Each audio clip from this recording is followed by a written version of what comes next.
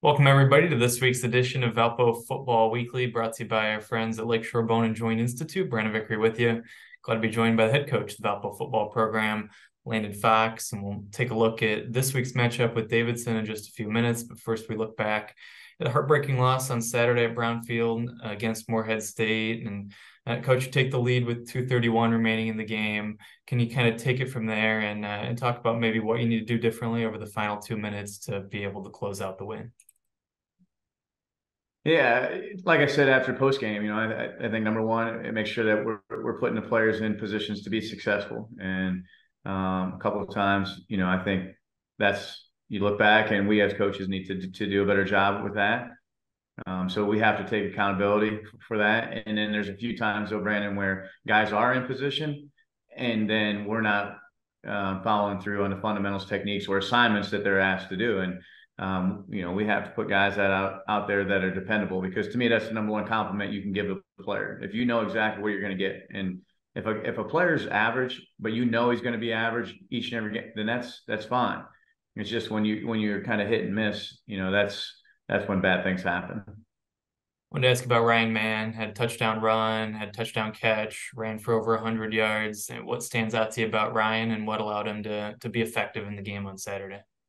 Yeah, well, first and foremost, it's nice to get him back. You know, he's he's been out for a couple weeks with injury, and so um, you know he's a he's a complete back, uh, really good in, in um, pass protection. You know, does a great job in pass pro, but he can go out and catch the ball um, in the pass game and um, downhill runner, and and, and um, you know, he's a little more elusive than you give him credit for, just in terms of kind of his um, ability to to make guys miss, but good things were happening when when um, the ball was in Ryan's hands. And and that being said, though, you watch on tape, and I'm critical of of us and our staff. You know, there was multiple times when uh, Morehead State did not have a, a, helmet.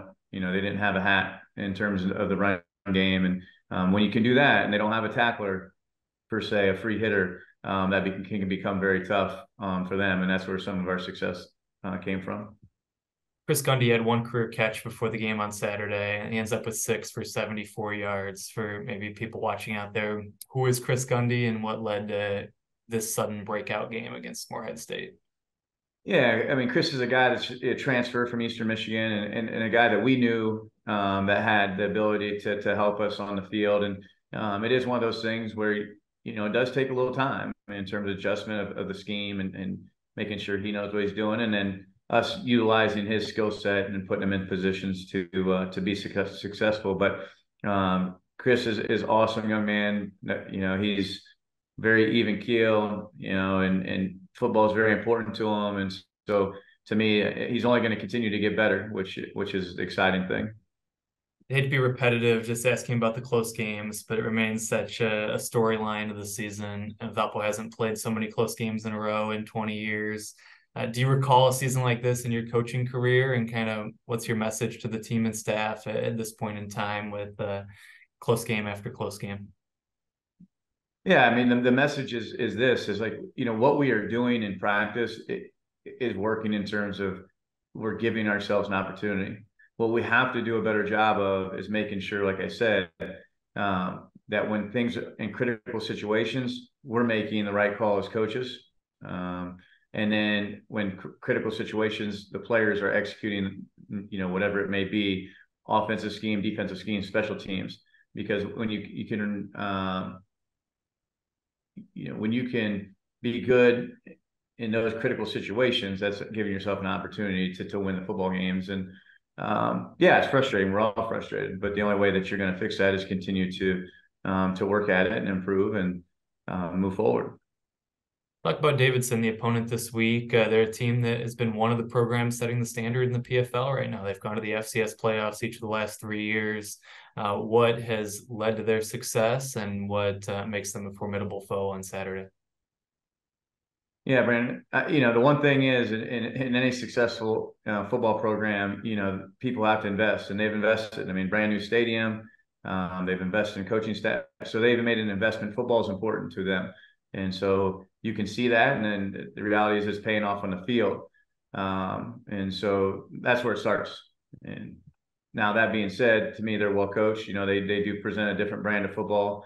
Um, in terms of option def- offensively, you know, and they're, they're good in option games, so that, that will present um, issues to our defense. And then, uh, you know, offensive or excuse me, defensively, there's as sound as you get. You know, they're not going to play a bunch of different defenses, but um, very very sound. And then it kind of interesting just in terms of the kicking game. They kind of try to eliminate eliminate that a little bit um, and how they do some do some of their um, do some of their stuff from a special teams perspective, like fair catching, um, fair catching kickoffs and punts, and trying to maybe eliminate that phase of it a little bit to a certain degree. Um, so just unique um, from that standpoint.